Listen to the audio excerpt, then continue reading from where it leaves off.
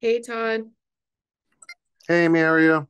good. How are you? I like your little picture when it when it comes on. Oh, what is it? Coffee mug, Oh, what's the coffee mug say? Hot Mess Express. You don't Yeah, remember so long. No. no idea. I've done, I've like done several Zoom uh because I like delete it all the time because it's like one of those apps I don't want to use. Right. And like if you run out of space on your phone, you're like, "Ah, I don't need that one. Yeah. That's awesome. Well, I guess I'll get right to this. I know you have a long day today, so I don't want to take up too much time. Um, so you're fighting Phil again. What was your thought when you uh got that name and you realized like this is gonna be my opponent? Uh, I didn't expect it. Like I wanted to fight for KSW. It's a great organization. They put on some of the best shows in the world. I didn't expect to go right into fighting for the title. Um, you know, um, I thought good because we had Josh around online a little bit and he didn't want the fight, which I thought was like, what do you mean you don't want this fight? Like that doesn't make sense. um, and I wanted him to say he wanted the fight just simply so that they, you know, they would sign me and then I could come fight him maybe later, right? I didn't expect like immediate title shot, but when you look at the landscape of the sport, it makes a lot of sense actually. Um, you know, he's a very tough opponent. Uh, he's as tough as they come. There's a reason, you know, you don't go out and win nine fights in a row at heavyweight, even on the local circuit, very easily. You know what I mean? Let alone holding the belt. So I, I have a lot of respect for him in that manner. Um, I'm excited for the fight. I'm excited for the challenge. Why do you think he didn't want the fight? Or why, I guess, why are you surprised that he didn't want the fight? I think he was chasing a money fight with Pudzianowski. Um, I, I guess he thought he would get more money from a sponsorship perspective. I don't know. Uh, I just it was pretty clear he didn't jump all over it when I was giving him the opportunity. I literally was like, "Bro, what are you doing? Like this, you know, like I'm I'm willing to say I, I would fight you. You're just like, nah, let me go fight this other guy." Um, I'm sure part of him definitely wants that fight back. So here we are. You know, he signed the fight. It's not like he's not. I'm not saying like, oh, Phil's whatever. Phil's a fighter, you know. So uh, it just wasn't his first choice, which I found very interesting. You mentioned uh sponsorships there. I'm curious, are you going to have anything painted across you for this fight? Do you know? Not that I'm aware of. No. Um, you know, the landscape of MMA is just much different. Is really about the best way I could say. Like COVID, um, you know, the sport is just it's not. I don't know. I don't. Yeah. Not personally as of right now. No, I do. I do not have. I will not have a, uh big emblem across my back or anything like that, other than some of my trashy tattoos I already have. No, I, I understand that. Um, what would there be like a sponsorship that you would be like, no way, I will never put that on my back? Like a product that you're you're just, I mean, obviously it may be something embarrassing. Uh, I'm pretty. Yeah. Like I don't know. I've I've gotten a little more mature about that kind of stuff. So I don't know. Like money money kind of trumps everything in this world, sadly. So I don't know if I really care. Uh, when I was younger, I definitely was like more to like I would have stuck more to like my values or whatever it might be. Um, but I'm very honest, like money these days is kind of a priority over anything else, as you can see with every little detail in our society. So you would so take an adult diaper sponsorship? yeah, I don't care. I mean, I'm already out there fighting like in like I don't. It's I don't think you can care about how people feel about you as a professional fighter. Like those fans are so ruthless and naive. Like they're kind of clueless. I hate to say it. Like they have no concept of like what it takes to fight, what it takes to get in there, what it takes to even get the opportunity to fight. Like I have fans that are mad at me and saying I like all kinds of wild stuff online on a regular basis, simply based off their perception of like, oh, why don't you fight anymore? It's like, help me find a fight, bro. like, it's not that easy.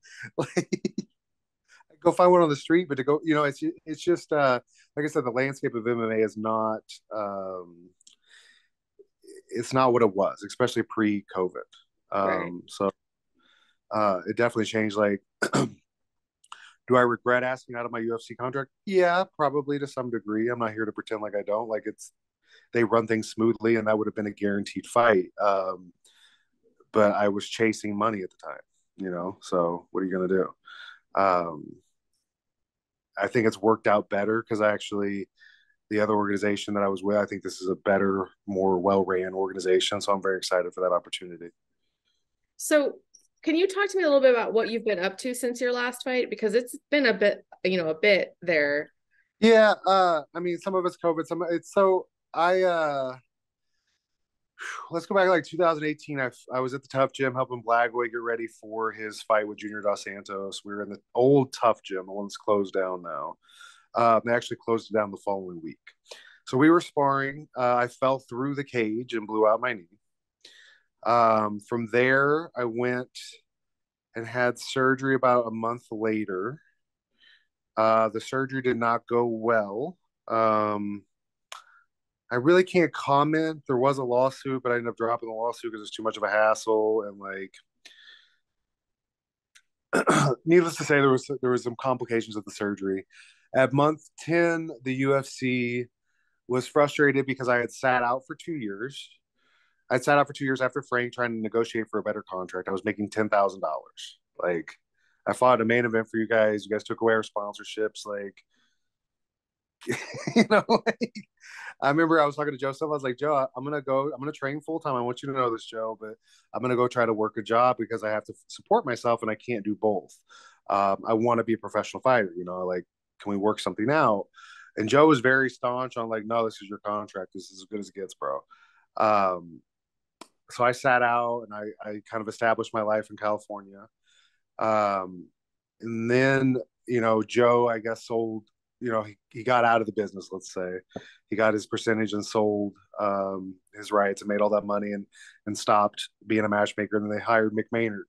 Uh, got with McMaynard.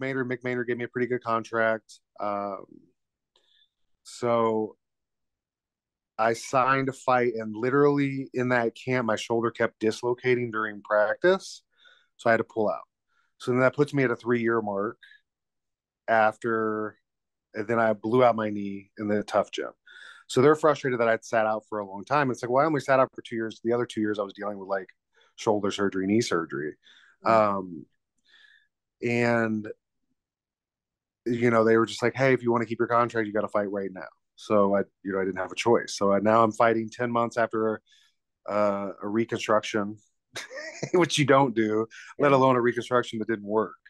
Um, you know, thank God I had the UFC PI Center kind of help me get ready for that fight. And I was able to kind of get through it. Uh, but then right after the fight, um, you know, they were very frustrated, even though the the doctor, like you can see my eye was messed up. There's all these records. They were like, it didn't look good. Um, so they were very frustrated and tried to have me fight like later, which physically I couldn't have been able to do anyway. Um, there was just a lot of frustration there um, and how they handled me. My manager told me several times. I had three different managers with the UFC, and three different times they've told me they don't like you. You need to go somewhere else. Um, so eventually, like after a while, like the psychology that's not healthy. Um, I like the UFC. I think it's one of the best organizations in the world, but like that psychology is not a good place to have that. Like your employer doesn't like you. Like I don't know, like the sport's hard enough, right? Mm-hmm. Um, so I kind of, uh, you know, I, I had, so I went and did the surgery. It took a year to recover. And then I sat around for like a year trying to figure out what I wanted to do, to be honest. Like I was training full time, but, um, I was kind of frustrated. Like I really was like, um, and COVID was going on. So there was a lot of like all these variables. Um, decided I wanted to fight. Uh, kind of got ready. Then there was like some opportunity outside the UFC um, with another organization, but then the fighter didn't want to take the fight. Uh, it was a big opportunity, uh, which kind of led me to then. I don't know. I, I got lost in like, what have I been doing? Sorry. No, that's uh, okay. I'm enjoying the story. yeah, I would say the first two years I was dealing with like re- recovering from a knee surgery uh, and kind of dealing with the fallout of like what I wanted to do. Did I want to stay in the UFC when I've had my third manager in a row tell me, hey, I wouldn't do this. I wouldn't stay here. I would go to this organization or this organization. Or, you know, so there was like a year of that. Then once I finally made a choice, um, I got strung along by another organization. Um, it's really the best way I can put it. And, uh, you know, that cost me about another year. Um, I've been training full time, healthy for the last, what, two and a half to three years. Um, so it's it's tough. Like guys at the gym are just like, holy shit, like we're so happy you're finally fighting. Like my friends are just like, damn, dude, this is they can't believe I've been in the gym the way I have. Um, they're like, dude, that's crazy. Like that's impressive. Cause it's difficult when you don't have a target. you know. Um, but I love this sport, and uh, I, you know, like it's just it's I enjoy training just the same. So it's like that forever path of improving is I, I love it, you know. Was so there ever? I, oh, sorry. Go ahead.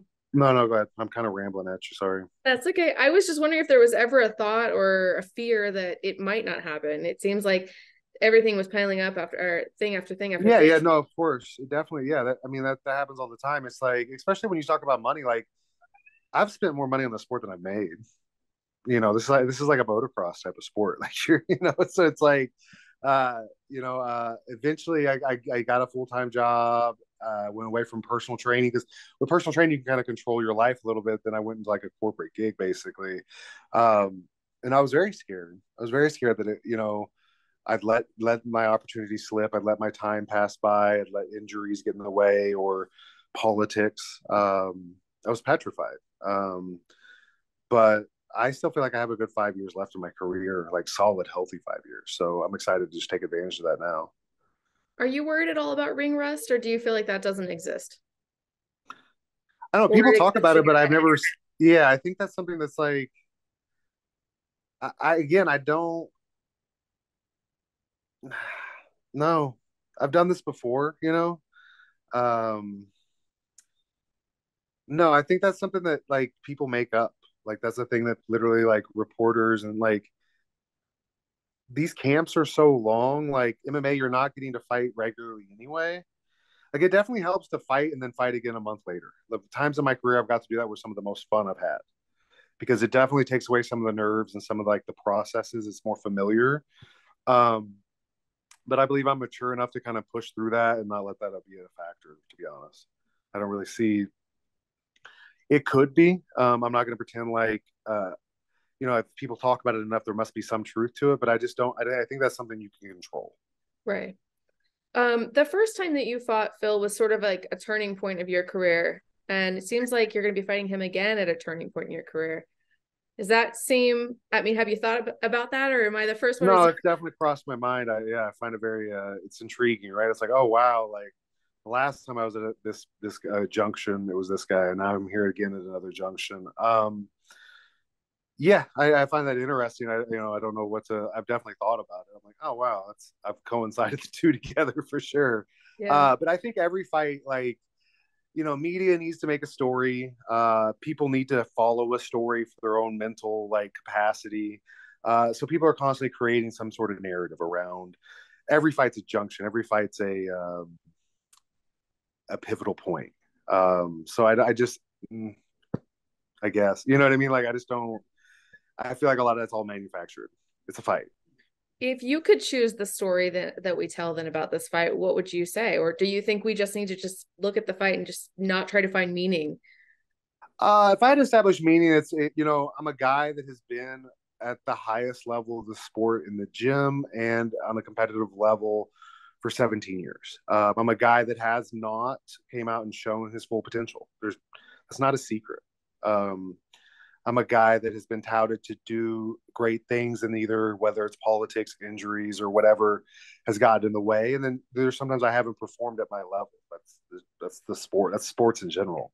Um, you know what I what I would look at this as, is an opportunity to kind of culminate and improve what level I am, and come back and crack the top 25, which is where I belong um, in this sport. Uh, I go out and I beat Phil, and I'm back in the top 25, and then I can kind of start to reestablish my career and actually have a career. Like again, like this is a. I don't think people like they have this idea that like I'm not getting paid weekly. I'm not getting paid monthly. I'm paying to do this sport. You know what I mean? So it's like it, it I wouldn't call it um I don't know how to, you know, it's it's uh it'll give me a chance to have a career and it'll give me a chance to kind of prove the level that I've always been at. You know, I've been training with some of the best guys in the world at that level uh, for 17 years. And it's not ever been a secret that I'm at that level. And it's just a chance to finally prove that. You know, we keep calling this a rematch, but it's been so many years since you fought. I mean, I, I can imagine you're a different fighter. He's a different fighter. Does it kind of feel like a brand new, fresh fight, or do you do you feel like you kind of know what you need to know about him? Uh, I mean, he's a different fighter. He's on anti-anxiety medication. He talks about it repetitively in every interview. It's the turning point of his career. Um, I find it very intriguing that a former drug counselor is using, you know, whatever he might be to to compete. Uh, I feel like we get paid to have anxiety. Like the fight is, if you're not anxious about a fight, there's something there's something not playing right. I've had one fight where I was like a little too feeling good, and I didn't perform well. Frank came out and stomped me you know, I trained with Frank many times, and I felt very overconfident when I fought Frank, uh, simply because I thought I was way better than him. Um, but again, at the end of the day, it was a fight, and uh, so I, I don't know. I think he is a different fighter. Um, his heart rate seems a little slower. Uh, he seems a little calmer. Um, he seems a little more confident. Um, you know, he's built. Uh, you know, he's he's still much the same, but he could come out and do a number of different things. So I don't know. Like it is a new fight. Every fight's new to me. I don't feel like, especially in this sport as it's ever evolving, I really don't feel like every even if you rematch a guy three or four times, it's still a new fight. It's still a new fight. Like guys are evolving, guys are making new decisions, and and a fight is so complex and there's so much involved that every fight's new. You know, like I've sparred 30 plus rounds with Cain Velasquez or whoever these people are, and every round is a different round you know, every, every it's like, yes, they're the same guy, but there's evolution occurring constantly. Um, I think that's one of my favorite things about the sport, to be honest. And I've got a couple of questions just about sort of MMA topics, if you're willing to discuss. Um, just today, we had the news that um, Alexander Volkanovski is holding his pound for pound number one title after losing to Islam Makhachev. Curious what your thoughts are about the number two pound for pound being underneath no you know what i'm trying to say here. Yeah uh i think pound for pound's a fucking hilarious like it's stupid. Like is Al- is alexander volkanovski one of the best fighters to ever grace this sport? For sure. Um is the pound for pound list make any logical sense to me? No. Um weight classes barely make sense to me when guys want to talk about they're the best fighter in the world. It's like why are you in a weight class then? Like what are you talking about go fight these guys that are 100 pounds bigger than you. Come talk to me. Um, I, I just think that's like a fan thing. Is like who's the greatest of all time. All that stuff seems so stupid to me. I hate to say it because there's no logic behind it. It's like this game people are playing. Um, it's like keeping up with the Joneses almost. Like it's something humans need to like latch on to. To I don't know. I can't understand. I've never understood it to be honest. Like who's the greatest? Like there is no that doesn't exist and I, that never will exist in the millions of years of, of this world. It's like i don't know you know people human nature's funny to me is all i guess i can really say. I don't i don't have an opinion on it. Um does it make sense? Logically no. Um but again what is a pound for pound? Like what does that even mean? That per pound of muscle, he's the best fighter compared to all the other pounds of muscles of other fight. You know, like I don't know. It's silly to me. I I can't I can't. I've never grasped it. I'm glad you said that because that's pretty much the answer I always give because I'm like, there's no way to know. You can't know that. There's yeah. no way to know. Um, but I think it's an opinion thing. Like people want yeah. to believe that their opinions, and it validates people's opinion, right? Which validates their ego, which makes it, you know, whatever it is. Like again, I'm, I don't get it. Never have. I'm sure people are upset to hear that, but it's like, prove it. Truth, right? Yeah, you can't you can't prove it. Um, Jon Jones is returning after a long layoff to fight at heavyweight. I'm just curious how you think he'll do at heavyweight. I think he'll do great. I don't think it's gonna be like he spent a lot of time getting there. Um, I think he's still Jon Jones. I think he's still very incredibly athletic. I think he's just going to be bigger, hit a little harder. Um, and he may have a little few different tactics because his body may be larger and he may not move the same. I don't know. Um, I think 205 and heavyweight, there's not a massive difference. Um, a lot of these 205ers, I see them like I've trained with them over the years. They're 245, 250, walk around the gym. Their frames are a little bit different usually. Like they're not carrying the same kind of bone structure that I am, but they're still two 445 pounds, the same as me or, you know, the next heavyweight that I'm fighting. Um, so I don't I don't think there's a lot there. Um, I don't think there's much to make of it, especially the time that he's taken. I just think that Jones is, you know, like the difference, the biggest difference between the heavyweight and the 205 is guys just hit a little harder. There's a little more KO artist in the in the heavyweight division, be probably most based off bone structure and bone density. Um, I don't even know if it's weight, you know, because a lot of those guys again they walk. Jones has been trained with heavyweights his entire career. I don't I don't think this is going to be anything new to him. Um, I knew Jones was trained with heavyweights back like 10, 15 years ago. So I, I just it's a silly thing to me. Like, oh no, it's different because he's no, it's not. It's not any different. he's still it's all that storylines we're trying to make. yeah, I mean, I hate. I'm not like hating on you guys. Just like I don't. I can't. Like, is it fat? Is it fun to see him step up and fight a bigger opponent that's like highly skilled? Yes. Do I think this is the fight that's going to show that he's like in the heavyweight division? No, because the guy he's fighting is the closest to 205 of all the heavyweights there are. The way he moves, the way he fights, the style, the um, the athletic ability. The big difference between heavyweights and light heavyweights is speed. Typically, Gane has both. Um, so I don't think you know, I'm more interested in seeing the fight.